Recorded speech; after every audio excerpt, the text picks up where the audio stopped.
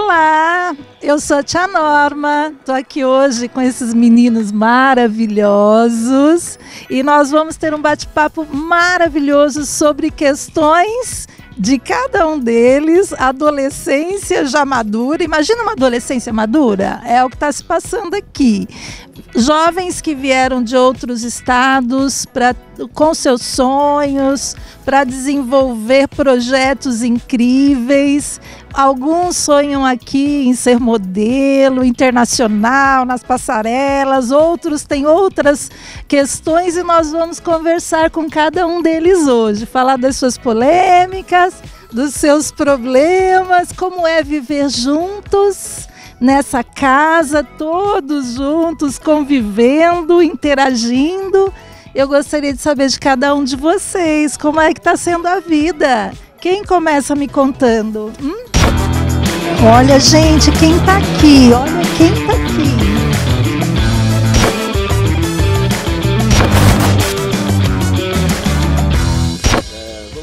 Vamos lá. Aqui o Rafa. Fala pra mim, Rafa, como é que é conviver? Quais os seus sonhos? Como é que foi estar aqui? Toda a sua trajetória? Conta pra gente.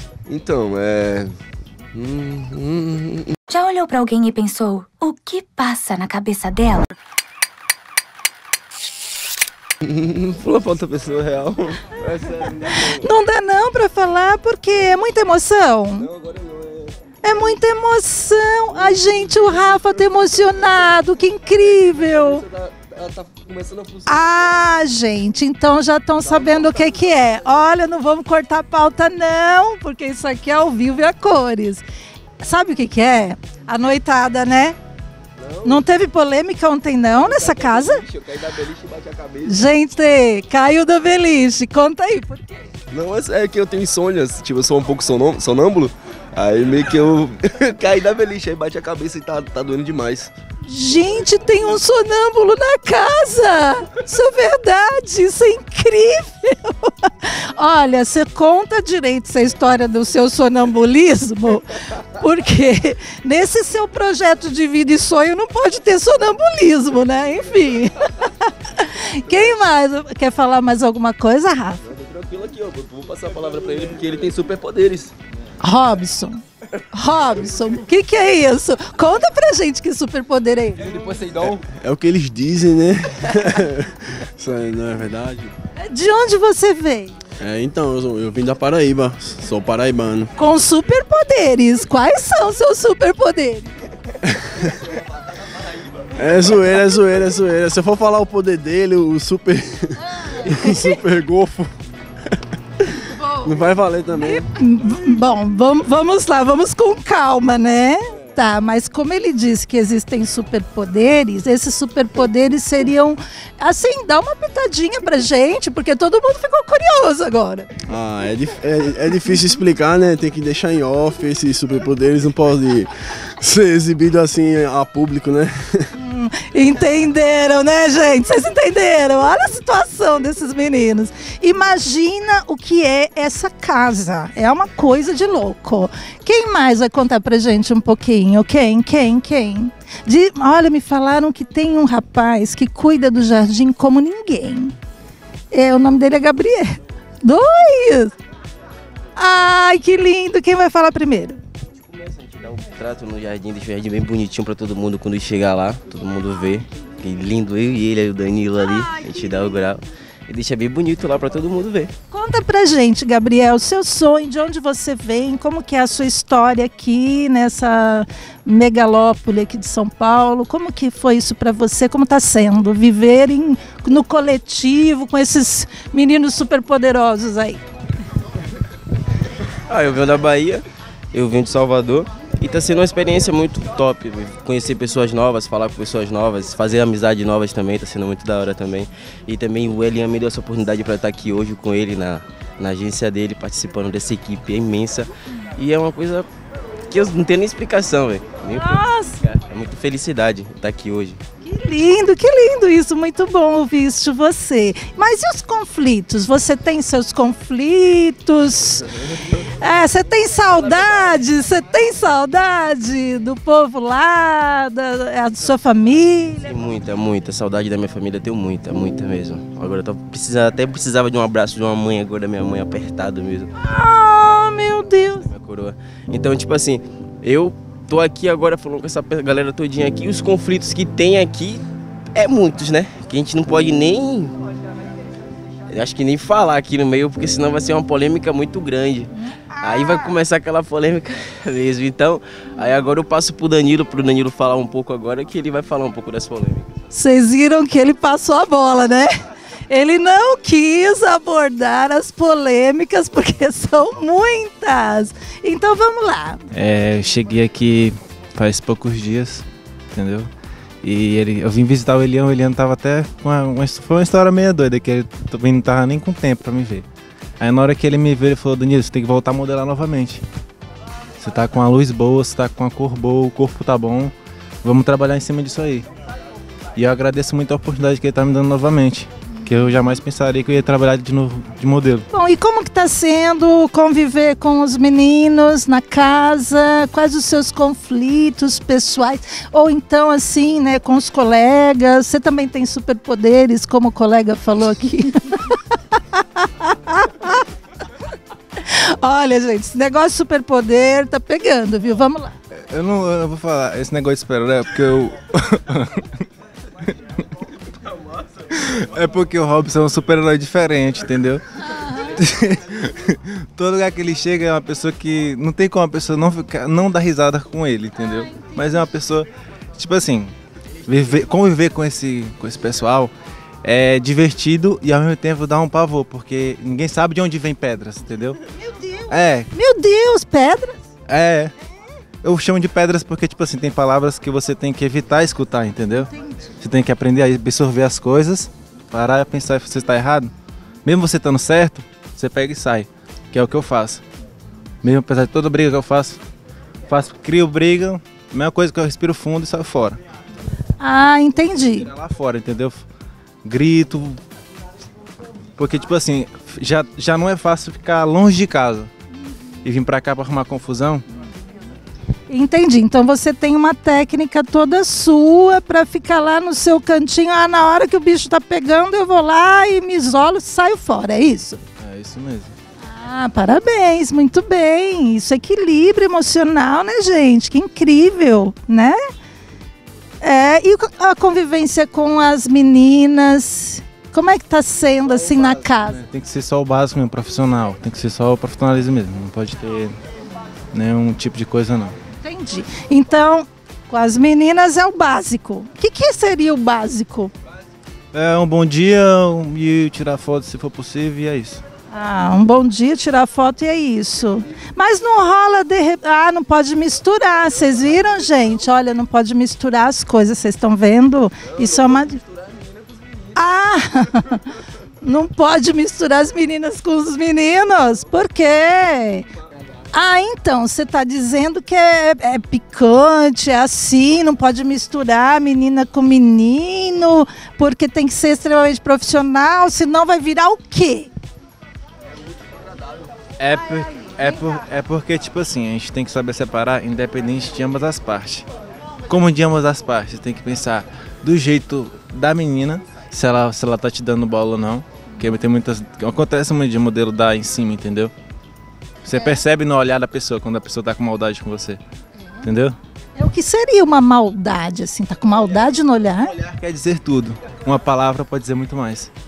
Agora ele filosofou, gente, não é verdade? Filosofia pura. Mas escuta, quem é que estava falando aí sobre a questão de não poder, não dar certo? É Rafa, né? Por que, que não dá certo esse negócio de conviver meninas com meninos? Que o negócio é picante, que o negócio é interessante, o negócio é o quê? É porque é juntar útil com agradável. Imagina, gente tá ali, todo mundo convivendo junto e tal. Sempre rola alguma coisa. Não adianta falar que não rola, porque sempre rola. Então é melhor o quê? Se afastar e ficar só na amizade. Falar, opa, beleza, mulher? Bom dia, ah, tudo bem e tal. Mas me diga, você tem uma namorada. Vocês devem ter as namoradas de vocês, né? Peguete, Ah, é? Namorada da trabalho? trabalho? Gente, primeira vez que eu ouço isso, namorada da trabalho. Hã? Ah, ele é casado, ela tem uma. Na... Namorada eterna! Mas por quê? Por que que namorada dá trabalho? Como? Porque às vezes você deixa de, tipo, um exemplo, você vai fazer um trabalho, às vezes é picante, tipo, picante que eu falo entre aspas, né? Você vai fazer uma foto mais sensual e tal, com outra menina. Tudo bem que às vezes até a própria pessoa vai falar assim, pô, eu aceito. Não, Pode ir tranquilo e tal, mas no fundo, se fosse contrário, eu não iria gostar. Então eu prefiro, tipo, evitar. Já a gente fica e tal, se envolve, não sei o que, pá, e morre ali e já era. Vamos, vamos pra lá que vai. Mas escuta, a namorada, no caso de vocês que estão entrando na carreira de modelo e tal, a namorada ela não tem que entender que é a sua história, o seu sonho de vida. Então, tipo assim, uma foto mais sensual que você faz com alguém, ela não teria que entender, ou você entender se fosse no caso dela? Sim, mas é isso aí que tá.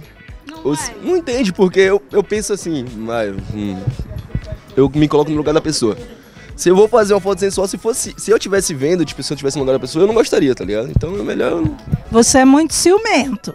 É vice-versa, quem não é ciumento hoje em dia? Mas não é doentio, mas é uma parada que a pessoa não vai se sentir bem, ver a sua pessoa que tá ali junto com você, numa aproximação e tal, sabe? Aí é mesmo.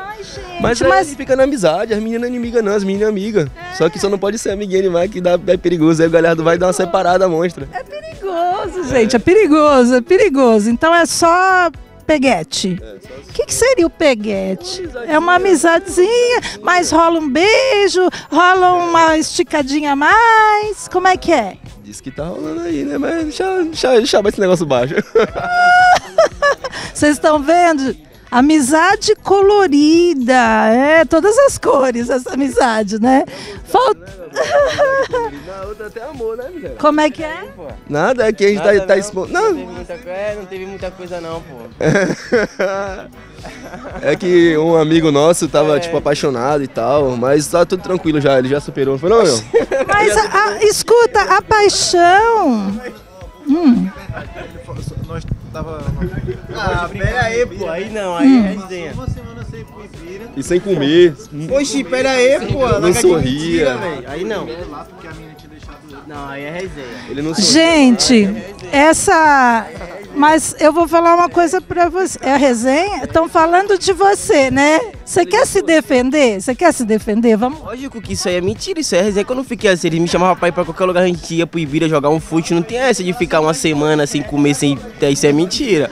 Isso aí. E, ele- e eu falei com ele, que ele falou, eu falei com ele bem assim, ó, eu sou baiano, você sabe que baiano terminou aqui agora já tem aquela, aquelas coisas, é cachorro do mato. Desculpa. É, ah, entendi. Isso quer dizer que te- eh, terminou um romance, a página virada já começa outro. Porra nenhuma, tava sofrendo. Meu verdade, Deus. Meu Deus! Olha, essa, essa questão toda do, da paixão, eu acho que é assim. é, tem que saber lidar, né? Olha, ter alguém. O companheiro é aquele que apoia em tudo, concorda? É isso aí. Agora tá faltando a gente falar com essa, essa criança linda aí, esse jovem lindo. Conta pra gente. Diga seu nome, de onde você veio, o que, que você tá fazendo aqui, qual a sua história. Então, meu nome é Maicon, sou vim do Paraná, já faz três semanas que eu tô aqui, vai fazer três semanas aqui, acho que é dois dias. E vim aqui, né, arriscar, ver se eu consigo dar certo, ver o que que acontece aqui, ver se eu consigo ter uma carreira legal. Larguei tudo lá, pra, lá na minha cidade e vim pra cá, pra ver no que vai dar. E agora- Seu, seu sonho é ser modelo internacional. É um, sim, é um, é um, tipo uma, um objetivo.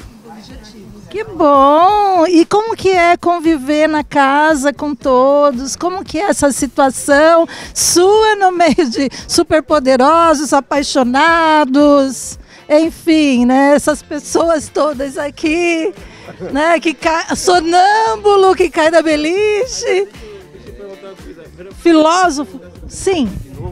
Como é isso que ele falou que veio pra cá pra dar certo, mas ele dá errado alguma coisa? Como- Eu senti nesses, nessas suas palavras uma certa hum, pers- malícia. O que você quis dizer com isso? Descontrair pra dar um sorriso. Como é que ele veio pra, veio pra- cá pra dar certo? Como é isso? Ah, então, como é isso que você veio pra cá pra dar certo? Eles gostam de botar num- uma enrascada, né? Coloca numa fria, fala a verdade. Não, não, não, mas eles. Os caras estão levando pra malícia, mas, mas Mas é. Mas digo em questão a em relação à carreira, assim. Tipo, questão de dar certo em relação a isso. Então, gente, hoje foi maravilhoso esse papo com vocês, estar aqui com esses meninos maravilhosos, sonho de cada um. Estou muito feliz de saber da história de cada um. Desejo a vocês assim uma carreira brilhante, que os sonhos de vocês realizem e resolvam todos esses pepinos, todas essas historinhas paralelas. Tia Norma resolve, tá certo? Pode procurar, tô aqui. Então, muito obrigada pela colaboração de cada um de vocês aqui nesse, nesse papo, nesse momento, tá bom? Um beijo.